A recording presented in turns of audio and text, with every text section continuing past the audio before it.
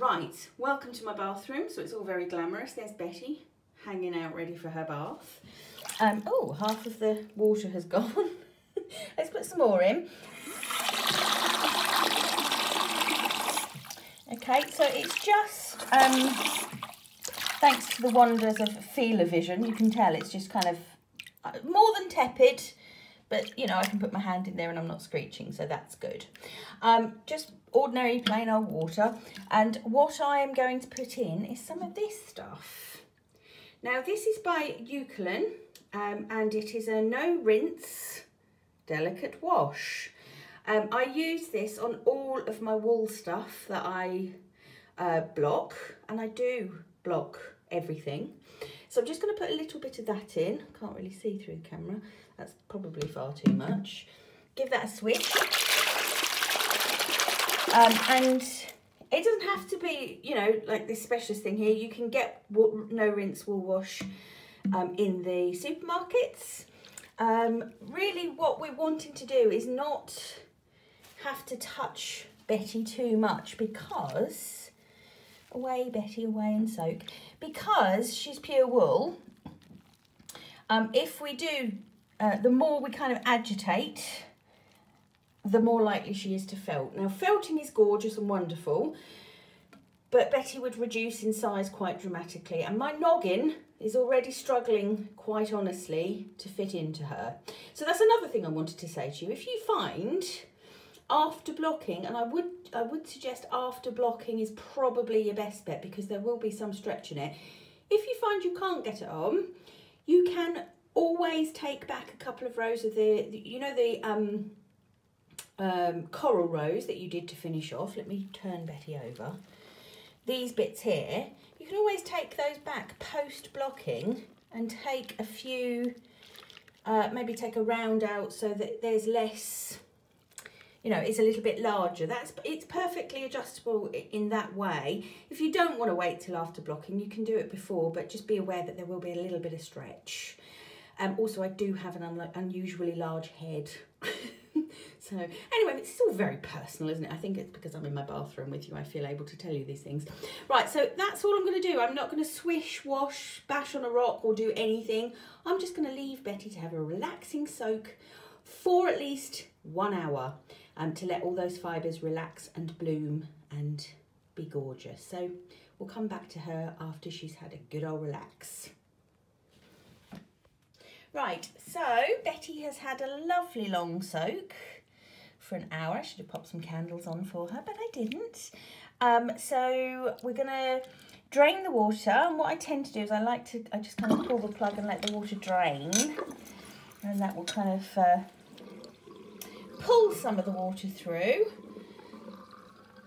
Okay, now this is the vital part, the gentle handling. Um, I'm just going to sort of fold and do a really sort of gentle press and you can see the water coming out.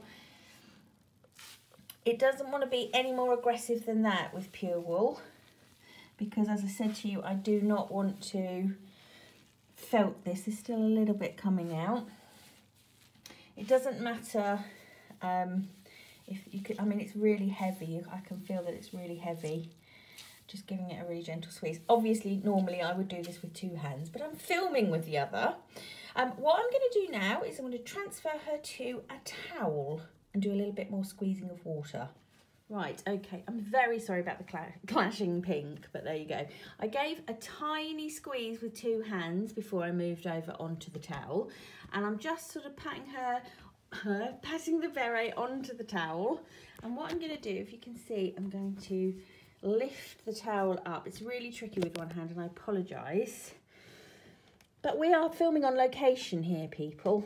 And this is sort of BBC, the BBC um, wildlife crews get this kind of problem all the time. So what I'm doing, you can see, is I'm just patting the, sort of squeezing the towel. And when I feel now, I mean, it's obviously still very wet, but it's a whole heap drier than it was because I've squo squozen, that's a real word, a lot of the uh, water out onto the towel. Now, when I back up here a bit, you can see that she's awfully misshapen. So the next stage is going to take care of that altogether. Let's move on. Right, I've I've got a dinner plate here and I borrowed that from my neighbour because I didn't have one that was the right size. Let's talk about the size that you need. If I put Betty on the plate like that, I know that she's not all in the right shape yet, but don't worry. You can see a bit of the plate all the way around the, the edge and that's fine because what I want to do is I just want to kind of give a little stretch to the work because it's going to even out the lumps and bumps and do, if I sort of tilt her like that, going to even out the lumps and bumps and smooth everything out and make it look fantastic. What I'm actually going to do is I'm going to turn the plate over and put the beret onto it that way because the plate's got a slight curvature and I'm exaggerating here but it's got a slight curvature which is just going to give a slight shaping to the beret. So what I'm going to do, and it is going to be a squeeze, do not panic, I am going to ease the beret over the plate. Trying to keep it in camera shot. It is a stretch, don't be afraid. Don't be afraid, it won't break, um, but you are going to have to really encourage that beret onto the plate if you've got the right size. If it goes on there too, oh, giving a real pull, if it goes on there too easily, you might want to go up a size or two of plate um, because you do want to give it a little bit of a of a stretch to really shape it. I am struggling like mad here. There we go. Okay, now obviously if I leave it like that, it's going to dry in completely the wrong shape. So you're going to have a bit of a manipulation to move it into the right kind of position. So if I go like so, it's roughly even, isn't it? You can see.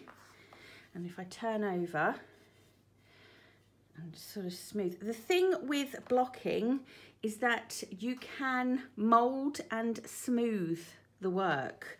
So moulding and smoothing the work um, into the right kind of shape. And however you leave it, you must leave it, that's the key words, um, it will dry. So if I have this completely off-centered, it's going to dry off-centered and, re and retain the shape um, off-centered. Now, in our pattern, um, Susan, completely forgot her name, how rude. Susan has run some stitches, some big stitches across the centre uh, of the beret to pull it really taut on the top. I don't feel I need to do that on this plate because I feel that the stretch that I've got there already is sufficient. Um, you can sort of see it's stretched, stretched that top out nicely. If I hold it like that, that little bob, that kind of bulge has totally gone. And I'm just going to smooth it down so I don't feel the need to stretch it further. If you think yours needs further stretching, do what Susan has done in the pattern, which is, as I said, thread up some of the leftover yarn and work through just to pull these edges taut and put, which will obviously in turn pull the top part taut. You can see enough plate coming through mine that it's quite stretched enough. So that is all I need to do. Um, and what I need to do now is the worst and hardest part for me because I've got to leave it alone. Leave it alone until it's dry. Sometime later, folks, it's dry. Definitely dry. Um, and I actually had to turn it over because the moisture had all collected in the underneath. So while it's dry, drying, do just make sure, see if you need to change the position um, of it at all. I just kept mine in the airing cupboard. So it's been about 24, maybe a little bit over 24 hours now. So I'm going to take the beret off using a bit of brute force, probably off camera. You can see it will take a bit of beating, but try to be gentle. And um, plate may be discarded. And there we go, flat as a beautiful beret pancake. now, obviously you can't feel this, um, but it has absolutely flattened and evened my work out. You can see it's pristine and beautiful. It's so forgiving if you're a little bit like me and not so neat. Some people are tremendously neat with their work and I'm not that person. So blocking, utterly, utterly beautiful. Now then, what next? So on our um, photographs, there is a pom-pom, which turns Betty into more of a tam o'shanter, I think.